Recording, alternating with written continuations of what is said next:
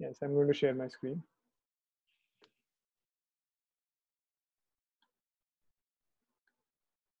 Um, hi everyone. Today's agenda. The first thing is okay. So um, so I've done some interactive interactive testing with uh, uh, with some unsupported extensions. I've tried adding those extensions and to see how our Git tool chooser is behaving uh, when those extensions are added. Um, specifically asked for uh, for uh, for those results. We were having a discussion in the PR. So I think we can run a build and see it in real time if that's so uh, in this project uh, I have a very small repository. It's under uh, 5 MB. So so I go to the configuration page. Hmm.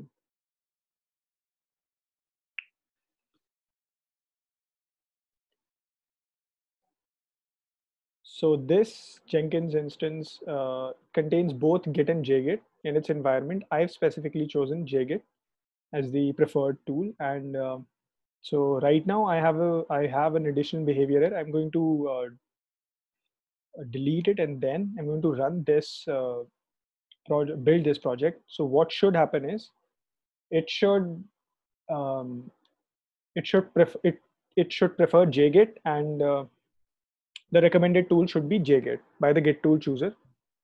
Uh, since the repository size is less than 5 MB, which is the expected behavior.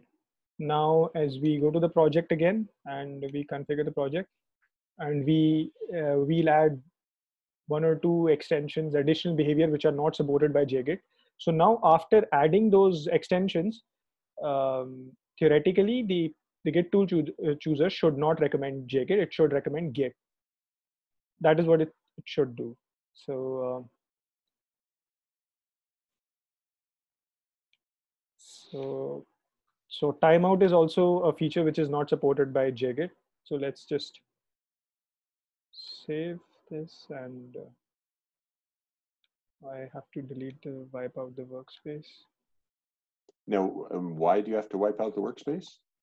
Because I am I don't have to because I am if I don't then it is not going to check out the uh, not going to uh, go through the one of the functions I wanted to go through. So if ah. it's if it's available then it doesn't uh, it applies a uh, different operation, right?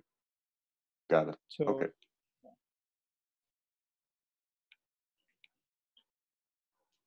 So yes, here the recommended tool is Git.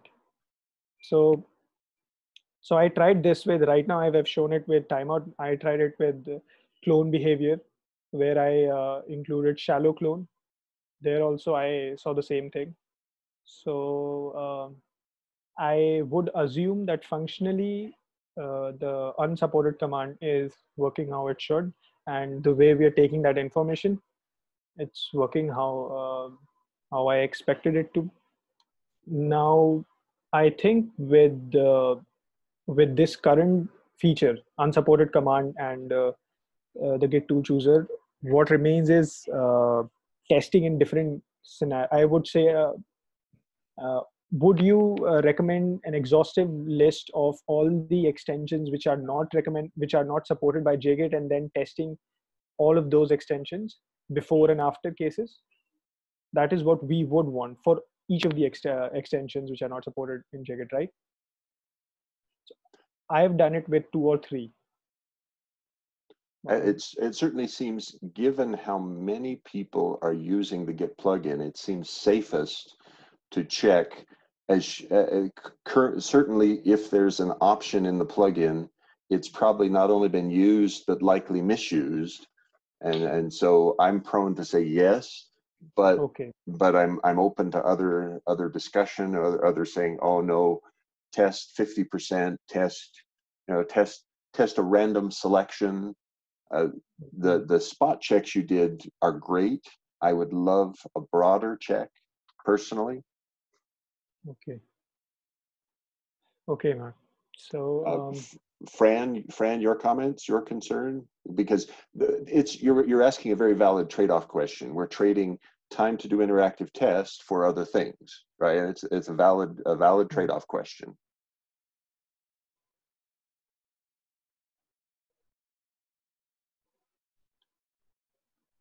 Okay, no, so uh, yes, sir. Sorry. No, no, no. I, I, I, was about to say that no, because uh, uh, most of my questions were all about the question that with your test have been answered. So now I have a clear uh, uh, understanding of your PRs. So now what I want is to review again the PRs and, and be sure that now I have all the information and, and I'm in a better position to, to review it, all of them. Okay. Okay, so um, the second thing is uh, a change in design. So uh, now what was happening before the change? So for Git tool chooser, we had two constructors. The first one uh, used Git, S- a Git SCM source object to uh, get the cache and it relied on the source Git SCM source object to get the cache. And the second construct and and this constructor we uh, so what we did was first we looked for cache if we could find it and we estimated the size and recommended the tool if we could not then we looked for extensions and then we asked uh, for the for the size from them and if we could find that then we could recommend a tool now um, the second constructor i gave was an option if we just have the remote name and nothing else uh, so that it can be used uh, across uh, other projects apart from multi-branch uh, project. So now um, Mark uh, suggested that we would we should not need the Git SCM source object to get the cache entry, and um, I I did find that that we would only need the remote name to access uh, any dot .git directory uh, cached within the Jenkins instance workspace. So now the uh, we don't need two constructors. We just need one constructor, uh, which would require the remote name, and uh, then it would make the decisions. So it has two ways to find the size. The first one would be the best way we have is to determine it using cache, and if we don't have that, then we use the API, uh, REST API method. So and I've so I ran the unit tests again on this to make sure that um, the code is working with just the remote name. It doesn't require the source object, and it is working well. It's uh, all the cases have passed, so I don't think we would need much. Uh, I would. I haven't pushed this code on the PR yet. I just wanted to show you first. So I think this is it with the design modification. I, I think we would need more design modification. I'm coming to the third point now. So that is related to the support of other extensions.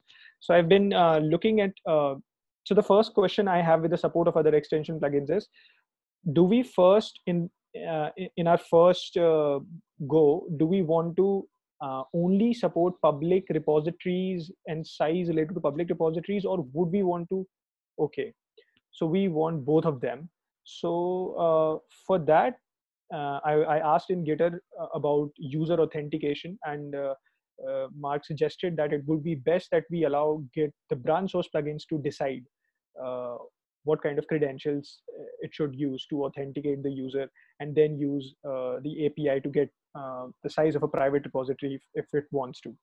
So with that approach, I, I I was looking at the branch source implementation. I have some concerns the first concern is that so the way uh, the branch source plugin is going to uh, pass the credentials or get the cred- credentials is is is same as I I found in the Git plugin. It's using the lookup uh, scan credentials uh, functionality, and uh, so it needs three things. The first is the context that I assume is the job which is running. The second is the API URI, which is what we're providing. The second is the credentials ID so as far as i understand uh, the two things these two things is something we have to provide to those uh, plugins. This is not something we can take from them uh, because what i've so our uh, rs yes yes one one question about the credentials. Uh, why is git client who has to provide that credential to the other plugin?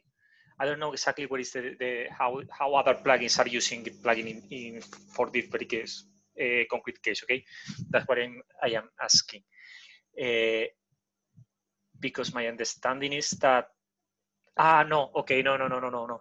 Okay, no, no, I got it. I got it. Nothing, nothing. Sorry, sorry for the noise.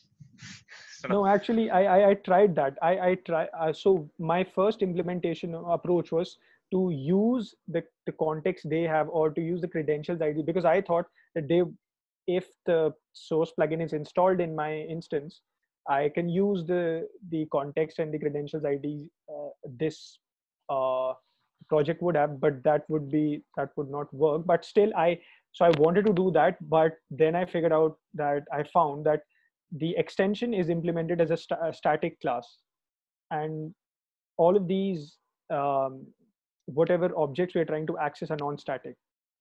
First of all, I could not figure out a way to get them in that. I don't understand. Is that is that possible? Because if the if these are static classes that that means that they're, they're going to be shared across across all the objects which is not which doesn't make sense with the credentials id because that would be linked to a particular object. So that's what i understood from it. So i thought that it would be best for us that the git plugin while it's asking for a particular size for a particular repository should also tell what project it is uh, I I have a very limited understanding of the uh, class called item. That is what it is accepting. Uh, item item is the hmm. context it, it, it wants and then uh, the credentials id is something we can provide and then we can then it's it's the the job is uh, i think is easy but now uh, the question i have with this approach is related to the item the job so right now when I did not pass any credentials, I my uh, the Git plugin was you was was using um, so I was using a freestyle project and I and I used the API extension of branch source without using using it anywhere. That so my my question is, if I want to pass it credentials, which means that I'm passing it a context, does the plugin, which is the branch source plugin, needs to be uh, needs to be used in a project? Is it necessary for it to be used in a multi-branch project? And if it's not being used it's just there. It's in, inside the jenkins instance and has never been used. Would it still be able to accept the context i have and uh, use it to scan the credentials and um, connect with github?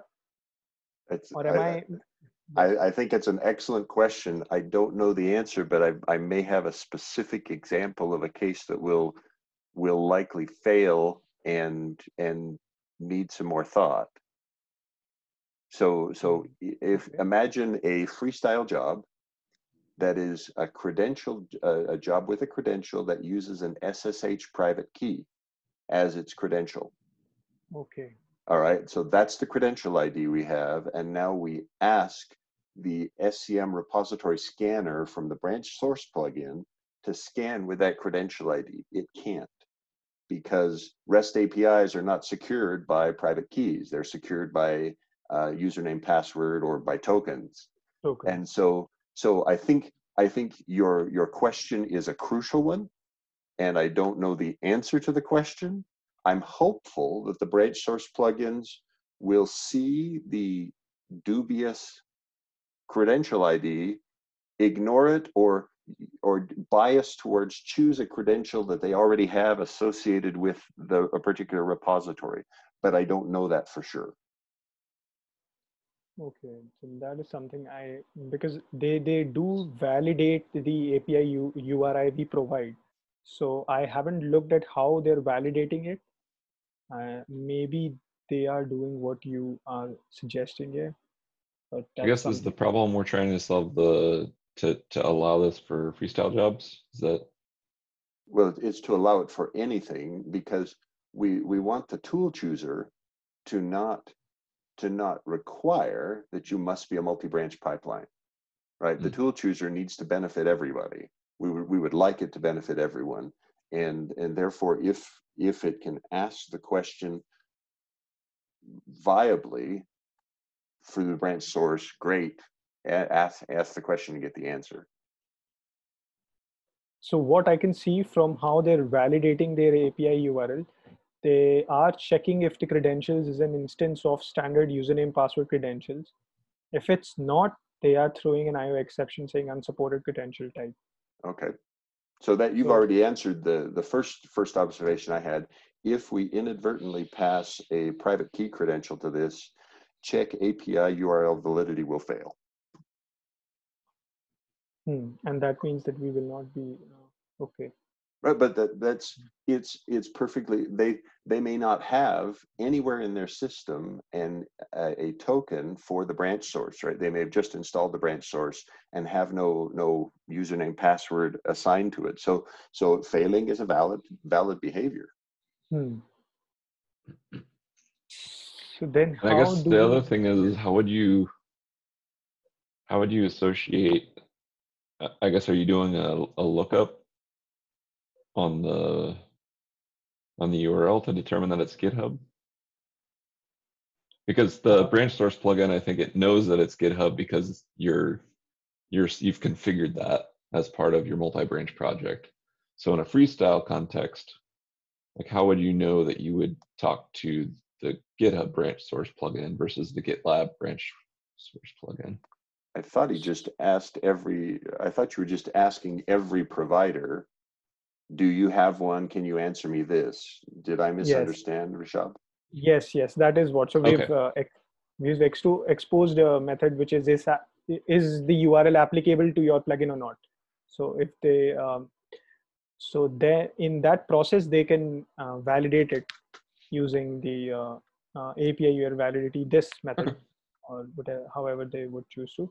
So um, then my question is so for for example what I so what I experienced while I was uh, sending uh, unauthenticated uh, request was that I was in a freestyle job. I was able to get the size of the repository without having a cache, uh, and I did not have a multi-branch project uh, within the uh, Jenkins instance. It was just the only project. So with authenticated request, we would need to figure out a way that um, the credentials are either their username, password, or their a token. That is that is those are the two types of credentials which would be supported by a rest api Uh, so so then so if the freestyle job but is configured by the user as um with the private ssh key then we we cannot do anything about it right I, right, I, I don't think, so. well, no, maybe that's too strong because it's, there are some of the branch source plugins that have, have various mappings that attempt to, oh, you asked to use this SSH key and I have a, a username password pair that I can use whenever you mention that.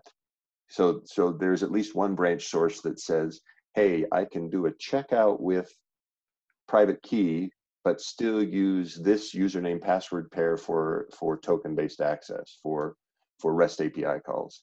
So I'm not sure that you should optimize away the call to the branch source. We should ask them and let them say no. okay okay so so then um so then when we are sending the repository url for which we need the size we but we would send the context and the credentials id right that is something we have to send I, I I think you're right. I I wish it were different, but I think you're absolutely right. The thing that knows the uh, I had the flawed idea earlier, and it was obviously completely flawed. That gee, the, the branch source should just know the credential it will use, but really it can't, right? Because it has to know has to know the URL and it has to associate the the credential with the URL. So I think you're right. I think we're going to have to pass it. or or maybe I, I haven't explored the branch source plugin in any of the branch source plugin where it cannot it uh, contain a map could not it create a mapping between the repository URLs, uh, URLs and the credentials uh, it has stored it would right it would create a mapping so if if I am um, if I'm sending a repository URL it would be able to check if it contains the credentials Yeah, it's it's certainly worth exploring, right? It is absolutely worth exploring to see do we really have to pass a credential? But I suspect you're going to find, oh yes, we have to pass a credential. okay. Yeah, and I guess I'm kind of wondering, like, because you wouldn't want to accidentally pick up the wrong credential either because that could like lead to credential leaks. Right, right. Uh, the, that, that's a novel one, right? Oh, I, I asked to scan the super secret everybody's passwords repository, and I just borrowed the credential scanning, the credentials from from the Jenkins system. Hmm. Yeah. I wonder if you need like if it ends up not being a uh, if it ends up not being a token or username password, like I wonder if like for a freestyle job if you'll end up needing to provide an option for the user to select their REST API credential something like that. I don't know. Anyways. I'll look at the PRs. Sorry. I'm behind too, so I'm I think I'm slowing us down. That's okay. That's so. I Yeah. uh, so what you're suggesting is that if we if we know that the credentials the user has passed would not be uh, able to use for the REST APIs, we would ask the user if they can provide. Uh, Yeah, for me, that's that's a very exotic case. I wouldn't worry about it, Yeah. Rishabh. It's this is this is just a heuristic, right? We we know it's a fallible rule. We know it's it's going to to not always get it right. It's perfectly okay to say, yeah, in that case, we just didn't get it right.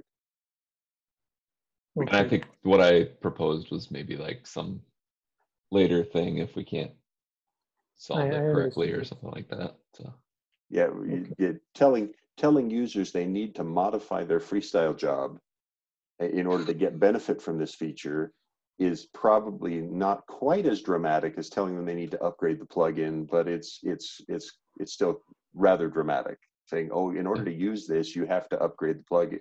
Uh, upgrade the plugin. That's fine, but oh, and you have to touch every one of your thousands of freestyle jobs. Hmm. I understand. Okay, so this is something I have to explore more now. And uh,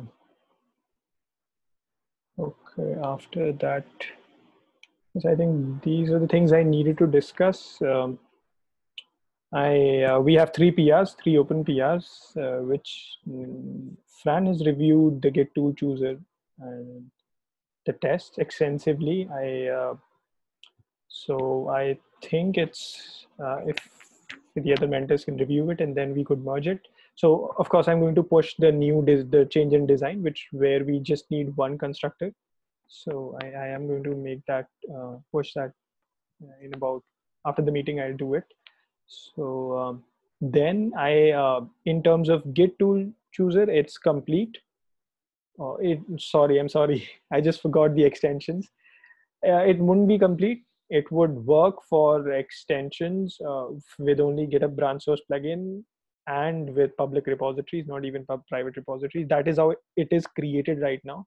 So if if it's important for us, if it's critical for us to first implement it with private repositories as well, then this PR will be blocked till um, we figure out a way how to manage credentials and how to pass them. So that's a decision uh, maintainers and the mentors can make. Uh, then the, the other two PRs we have uh, are related to the unsupported command feature. That is um, checking if the extension is compatible with JGit or not, and then recommending a feature, uh, an implementation. So, so I need to add test cases for the unsupported command class. I, I haven't. I've interactively tested it, not added the unit test cases. So yes, this is the uh, current status. Any? I have another maybe naive question, and uh, so forgive forgive all the questions that may have already come up in PRs. Uh, I'm sorry, I'm behind on the PRs also. Um, but one question I have is uh, for public repositories, if you use API tokens too often, then I think that you get start to get throttled. Yes. Um, will that have a negative effect on us? Um, so they, they, what you're talking about is the API uh, limit, right? The limit uh, Yeah. we have. So uh, the so the branch source GitHub branch source plugin I explored, they have a function which checks the API rate limit every time uh, you're trying to make a request. So I think we can we can just uh, we can add that function and just we can hope that requests not being so I as far as I know it's for a for an unauthenticated user it is um, 50 times in an hour. And I'm not. I'm not. I I didn't look. It's really low. it's it's low. Yeah. So um, that would be a problem. So, but and I, I, yes, yes, Mark. go ahead. I shouldn't interrupt. Continue. No, I, I was just saying that I, at the time of doing it, I, I thought that let me just think about uh, figuring out, figuring it out for once. I don't, and let's, we'll think. So I was thinking that we would uh, at some point of time uh, implement the authentication, and that would remove uh, uh, the rate limit uh, question. So yes, Justin, that's a very valid question, and we cannot do anything about it. It would be a concern if we have a lot of projects which are trying to um, actually it would be a big concern if we have a thousand freestyle job projects which are trying to um, but then they would would have to have the same repository url as well in the same instance. I'm not sure how this would Uh. affect us. So if, if a particular as far as i know so how would github know that the same particular machines it would map it with the ip right? So for a particular machine's ip that is how it knows that okay this particular ip is sending more than 50 requests in an hour and then Yeah. re- I think so. I Can't remember. can't we just can't we just rely on the branch source to manage the rate limit? Uh, it seems it seems like the GitHub branch source at least has heroic, and I I do mean heroic. It's got two different choices. I can either choose to use a what is it? I can use a linear barrier, or I can declare that that I don't want to block rate API rate requests API requests until I'm very near the threshold. And and so hmm. they've got they've got an awful lot of intelligence already inside the branch source that branch source anyway. I would i would just rely on them to do it. Now it, it, it's a valid point though. I wonder given given the given the relatively insensitive nature of our request for the size of a repository should we consider a, a cache somewhere globally, which a little hash table, which remembers we've already asked for the size of this repository, don't even bother asking again. Uh, Rishabh, is that already happening, or every time a repository URL is referenced, you ask the question to the to the to the uh, REST API provider? Um, every time we ask for it we we do not maintain a cache or do not maintain So- any kind so- of information.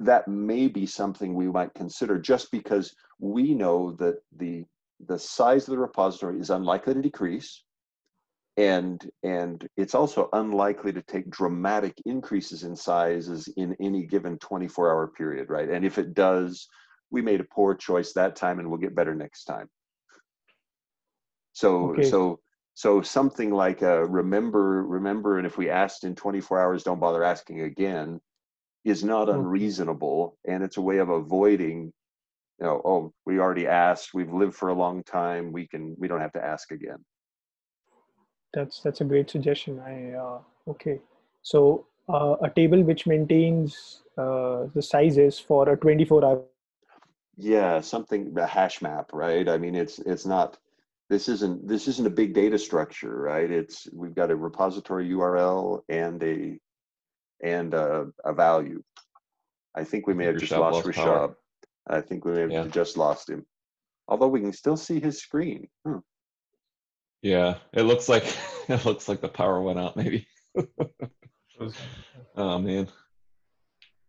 So um, I was just navigating through the uh, rate limits and I found one uh, deprecation notice that GitHub will be discontinuing the password authentication from November. Well, so what, So- what they're discontinuing is the use of your password as a Yep. credential. But, Yep. but you shouldn't do that anyway, so it's a good thing. Right.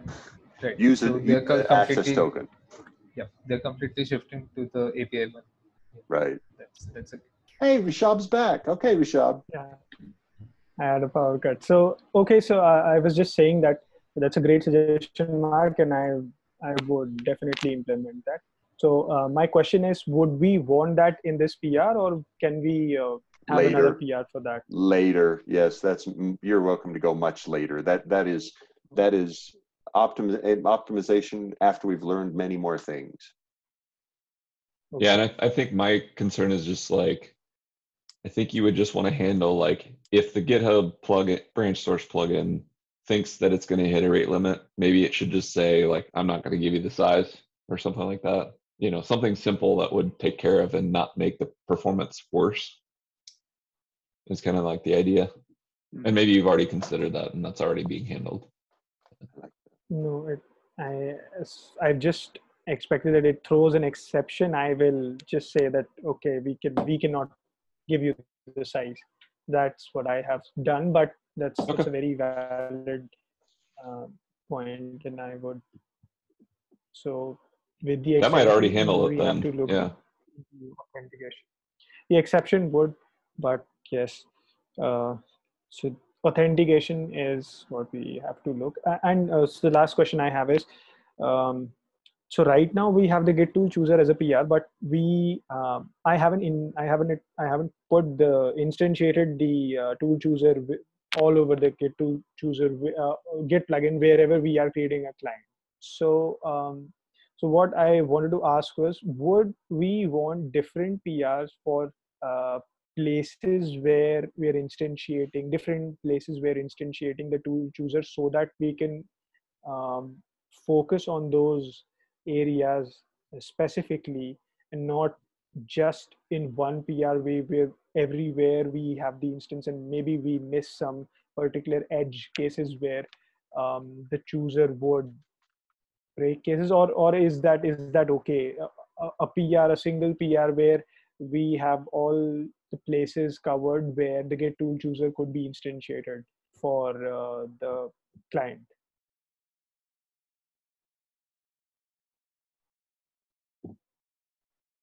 I, So- ask ask your question again. I'm sorry, Rishabh. Uh, uh, help me focus. it, it's not uh, so the question is that uh, would we need different prs for different places in the git plugin where we're going to instantiate git tool chooser or would it be comfortable for us to review it in just one pr because for the current pr it doesn't instantiate the git chooser a- anywhere it's just introducing the class within the plugin and uh, the tests i have put it one at one place so within the git scm um, checkout uh, create client uh, i haven't added it uh, in the multi branch for multi branch projects or at other places of the plugin Yeah, am i so- audible to everyone just barely. You're a little garbled. So one PR or multiple PRs, you you get to choose. That I I don't know that I can see one being better than the other.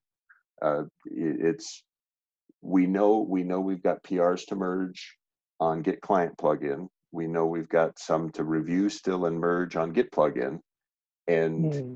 y- it may let you work go forward in somewhat independently if you aren't inside those specific PRs, but you get to choose. I, I hope sincerely to review the PRs this weekend. I apologize that I haven't still haven't done my due diligence. it's, it's okay it's okay so um, that's it from my side i think um, i'll be looking into authentication how we're going to support the extensions credentials and uh, yes, more discussion on the github channel if if i'm stuck somewhere yes. so uh, thank you everyone for coming Thanks, Rishabh. bye Thanks. bye